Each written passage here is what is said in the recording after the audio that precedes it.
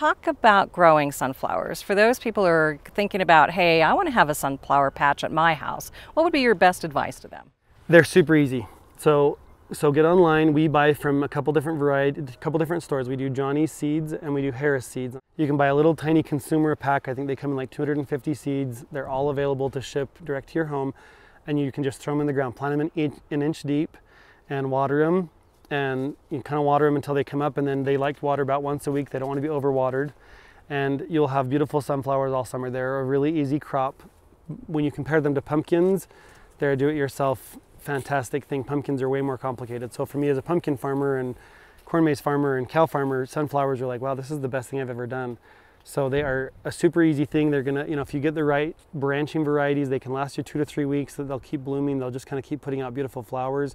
You could stagger them. You can plant them, you know, a couple weeks apart. So you have like one that comes on in the beginning. You can cut them out when they're done. Have another one that kind of comes up on the other corner of your garden and, and bloom.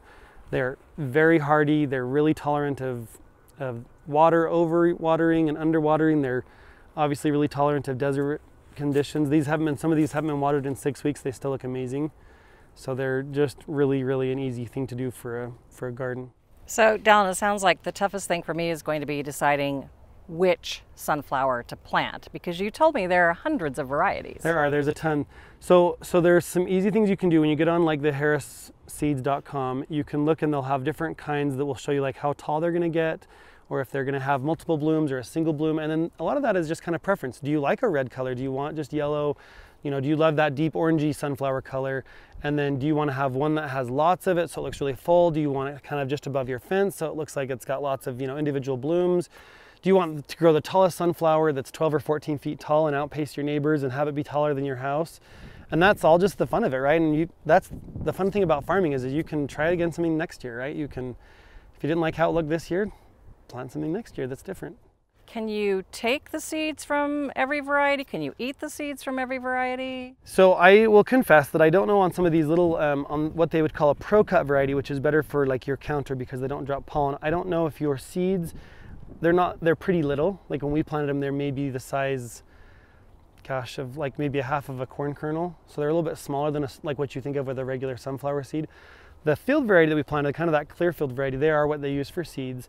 Um, they're all going to go to seed, of course, but the blooming is about 50 to 60 days through their process. And for seed production to be finished is about 110 days on most varieties, between 90 and 110. So you'd have to be committed to letting your garden look a little sad where your sunflowers are kind of hanging down and, and forming those seeds as part of the process rather than just being beautiful blooms. Right. So you said something very important though. You talked right. about the pro cut and dropping pollen on your countertop.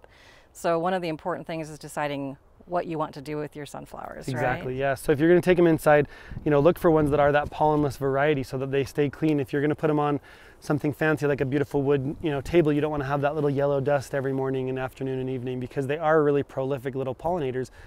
You know, throughout the field you can see honeybees just full of pollen as they take it back to the hive and, and if you want that, that's spectacular. If you want to see bees, if you have a little beehive, if you want to attract butterflies, the pollen variety is a great way to go if you want to put them in their home, then you definitely want to just have a pollenless variety because they'll be a little cleaner.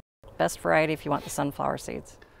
Clearfield, for sure. And they're a little bit hardier and they're a little bit more, um, they're going to be huge and they're going to have a great big open head. The other varieties would be like a mammoth variety or a titan variety. So the mammoth is going to be that sort of like that 8 to 10 foot tall flower.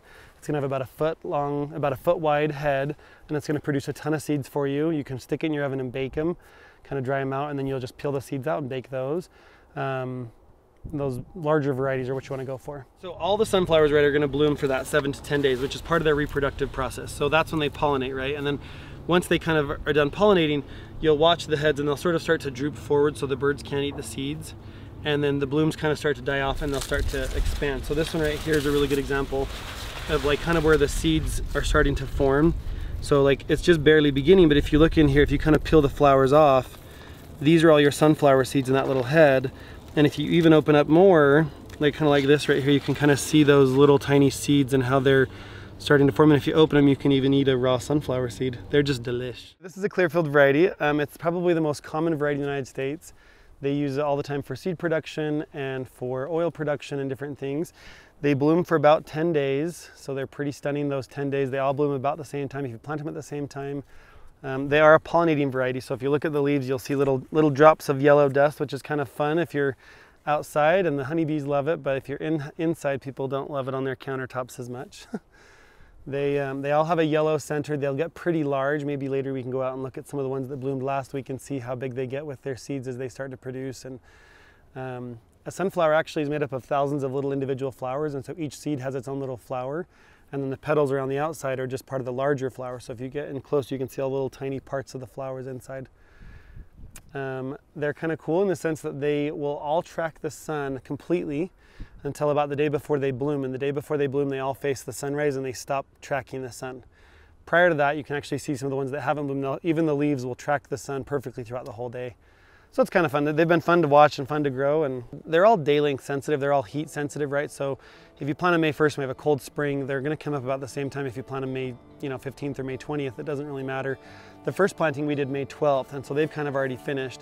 But if you stagger planting or if you plant a branching variety, then they'll bloom for three or four weeks because the first bloom, each flower only open for seven to 10 days but because the plant will continue to produce more blooms, you'll get blooms all summer long for the second half of the summer. So on, on like a regular level of just planting like some in a garden, they're really, really hardy. They're really drought hardy, they're really moisture hardy.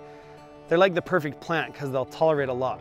Um, when we're growing them on this scale, you know, they take a ton of nitrogen, a ton of phosphate, a ton of potassium out of the soil. They're really good nutrient scavengers. They'll take a lot of soil out. Their roots can go six to eight feet deep in ideal conditions.